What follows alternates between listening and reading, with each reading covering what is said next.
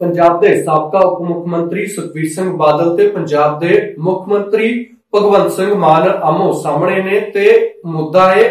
ਨੌਜਵਾਨਾਂ ਨੂੰ ਨੌਕਰੀਆਂ ਦੇਣ ਦਾ ਸੁਖਬੀਰ ਸਿੰਘ ਬਾਦਲ ਦੀ ਬੀਤੇ ਦਿਨੀ ਇੱਕ ਵੀਡੀਓ ਜਾਰੀ ਹੁੰਦੀ ਹੈ, ਜਿਸ ਦੇ ਵਿੱਚ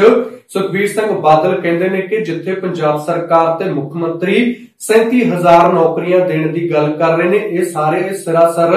ਝੂਠ ਹੈ, ਜਦ ਕਿ 5-7000 ਨੂੰ ਹੀ ਨੌਕਰੀ ਦਿੱਤੀ ਗਈ ਹੈ ਤੇ ਬਾਕੀ ਤਾਂ ਰੁਲਦੇ ਫਿਰਦੇ ਨੇ। ਮੈਨੂੰ ਤੁਸੀਂ ਦੱਸੋ ਕਿ ਕਿਸ ਮਹਿਕਮੇ ਦੇ ਵਿੱਚ ਕਿਸ ਨੌਜਵਾਨ ਨੂੰ ਨੌਕਰੀ ਦਿੱਤੀ ਗਈ ਹੈ? ਕਿਸ ਮਹਿਕਮੇ ਦੇ ਵਿੱਚ ਕਿੰਨੀਆਂ ਕਿੰਨੀਆਂ ਨੌਕਰੀਆਂ ਦਿੱਤੀਆਂ ਗਈਆਂ ਨੇ? ਸੁਖਬੀਰ ਸਿੰਘ ਬਾਦਲ ਨੇ ਬਾਰੀ ਸੂਬਿਆਂ ਦੇ ਨੌਜਵਾਨਾਂ ਨੂੰ ਨੌਕਰੀਆਂ ਦੇਣ ਦਾ ਇਲਜ਼ਾਮ ਵੀ ਪੰਜਾਬ ਸਰਕਾਰ ਉੱਤੇ ਲਾਇਆ ਸੀ। ਹੁਣ ਉਸ ਗੱਲ ਦਾ ਜਵਾਬ ਦਿੰਦਿਆਂ ਮੁੱਖ ਮੰਤਰੀ ਭਗਵੰਤ ਸਿੰਘ ਮਾਨ ਨੇ ਕਿਹਾ ਕਿ ਸਾਡੀ ਸਰਕਾਰ ਕਿਸੇ ਵੀ ਨੌਜਵਾਨ ਤੋਂ ਰਿਸ਼ਵਤ ਨਹੀਂ ਲੈਂਦੀ, ਨੌਕਰੀ ਦੇਣ ਵਾਲੇ। ਅਸੀਂ ਇਹ ਨਹੀਂ ਦੇਖਦੇ ਜਦ ਨੌਜਵਾਨ ਮੈਰਿਟ ਦੇ ਵਿੱਚ ਆ ਜਾਂਦਾ, ਉਸ ਤੋਂ ਬਾਅਦ ਇਹ ਨਹੀਂ ਦੇਖਿਆ ਜਾਂਦਾ ਕਿ ਉਸ ਨੌਜਵਾਨ ਦੇ ਮਾਪੇ ਕੀ ਕਰਦੇ ਨੇ ਉਸ ਦਾ ਪਿਓ ਕੀ ਕਰਦਾ ਅਸੀਂ ਮੈਰਿਟ ਦੇ ਆਧਾਰ ਤੇ ਕੰਮ ਕਰਦੇ ਹਾਂ, ਅਸੀਂ ਰਿਸ਼ਵਤ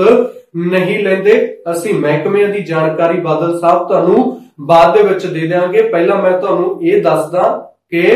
ਤੁਹਾਡੇ ਬਹੁਤ ਸਾਰੇ ਪ੍ਰਧਾਨਾਂ ਦੇ ਪੋਤੇ ਪੋਤੀਆਂ ਨੂੰ ਵੀ ਅਸੀਂ ਨੌਕਰੀ ਦੇ ਚੁੱਕੇ ਹਾਂ ਇਹ ਮੁੱਖ ਮੰਤਰੀ ਭਗਵੰਤ ਸਿੰਘ ਮਾਨ ਦਾ ਸੁਖਵੀਰ ਸਿੰਘ ਬਾਦਲ ਨੂੰ ਜਵਾਬ ਦਿੱਤਾ ਜਦ ਕਿ ਉਹ ਨੌਕਰੀਆਂ ਦੇ ਮਾਮਲੇ ਉੱਤੇ ਕਹਿ ਰਹੇ ਸੀ ਕਿ 37000 ਨਹੀਂ 5-7000 ਜ਼ਰੂਰ ਨੇ 5-4000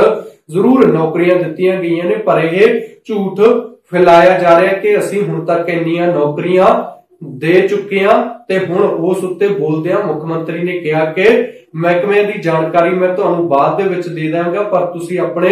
ਪ੍ਰਧਾਨਾਂ ਤੋਂ ਪੁੱਛ ਲਿਓ, ਜਿਨ੍ਹਾਂ ਦੇ ਪੁੱਤ ਪੋਤਿਆਂ ਨੂੰ ਨੌਕਰੀ ਦਿੱਤੀ ਜਾ ਚੁੱਕੀ ਹੈ। ਅਸੀਂ ਰਿਸ਼ਵਤ ਨਹੀਂ ਲੈਂਦੇ, ਮੈਰਿਟ ਦੇ ਆਧਾਰ ਤੇ ਕੰਮ ਕਰਦੇ ਹਾਂ ਤੇ ਕਿਸੇ ਦੇ ਨਾਲ ਦਰਿਆਂਤ ਨਹੀਂ ਕਰਦੇ। ਸਾਡਾ ਹਰ ਇੱਕ ਪ੍ਰੋਗਰਾਮ ਦੇਖਣ ਅਤੇ ਸਾਡੇ ਨਾਲ ਜੁੜਨ ਲਈ ਸਬਸਕ੍ਰਾਈਬ ਕਰੋ ਬਨੇਰਾ ਟੀਵੀ ਅਤੇ ਨੋਟੀਫਿਕੇਸ਼ਨ ਲਈ ਬੈਲ ਆਈਕਨ ਤੇ ਕਲਿੱਕ ਕਰੋ।